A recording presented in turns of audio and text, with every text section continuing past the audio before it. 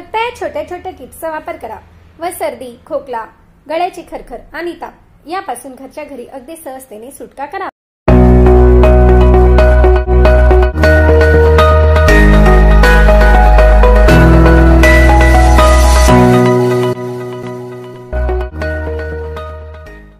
नमस्कार मित्रमैत्रिणींनो. मराठी हेल्थ या युट्यूब चॅनलमध्ये आपले स्वागत आहे. आज मी आपल्यासाठी सर्दी खोकला गळ्याची खरखर व ताप यापासून घरच्या घरी सुटका करून देणाऱ्या अशा बऱ्याच छोट्या छोट्या घरगुती आयुर्वेदिक टिप्स घेऊन आले आहे. खोकला येत असेल तर यासाठी सुंठवडी खूप प्रभावी ठरते.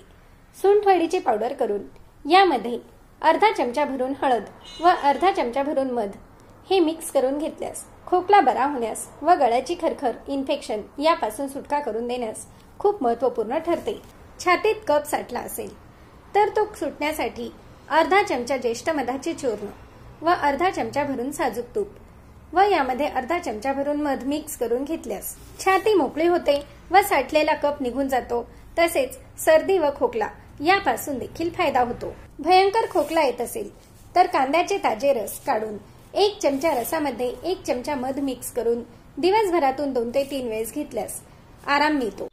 यामुळे छातीतील कप देखील निघून जातो व खोकला देखील बरा होण्यास मदत होते. तसेच आडोळसा. आडोळसा देखील खोकल्यावर रामबाण ठरला आहे.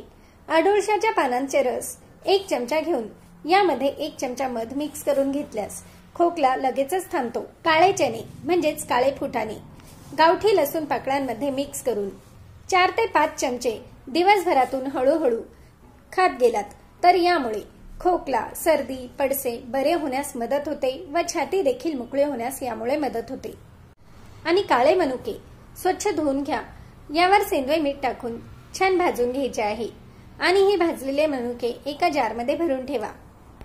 व दिवसभरातून दोन ते तीन वेळेस हे मनुके चावून चावून खायचे आहेत. असे केल्यामुळे तोंडाला देखील चव येते व खोकला देखील बरा होतो. आणि रात्री झोपण्यापूर्वी आपल्या मुठीत बसतील इतकी मनुके घ्यायचे आहेत आणि पाण्यामध्ये भिजून ठेवायचे आहे. सकाळी यात खडी साखरेचा एक मोठा खडा मिक्स करून वाटून घ्या व हे मिश्रण उकळवून पाक तयार करून घ्या व हे पाक काचेच्या बॉटलमध्ये भरून घ्या. व रात्री झोपण्यापूर्वी दोन दोन चमचे जर तुम्ही हे औषध घेत गेलात तर यामुळे छातीत जमा झालेला कप निघून जातो. खोकला निघून जातो. छाती मोकळी होते. व गळ्याचे इन्फेक्शन देखील निघून जाण्यास यामुळे मदत होते. व ताप असल्यास ताप देखील निघून जाण्यास यामुळे खूप फायदा होतो. आणि जर नॉर्मल खोकला असेल तर दिवसभरातून दोन ते तीन वेळेस खडी साखरेचा मोठा खडा घेऊन वारंवार चगळत गेल्याने देखील खोकला लगेचच थांबतो. किंवा गरम दुधात खडी साखर हळद टाकून हे जरी पिलात तरी देखील छाती मोकळी होते व खोकला देखील निघून जाण्यास यामुळे मदत होते. आणि जर ताप येत असेल तर ताप असणाऱ्या व्यक्तींकरता एक मोठा ग्लास भरून दूध गरम करून घ्या. यामध्ये हळद व तुळशीची पाने टाका.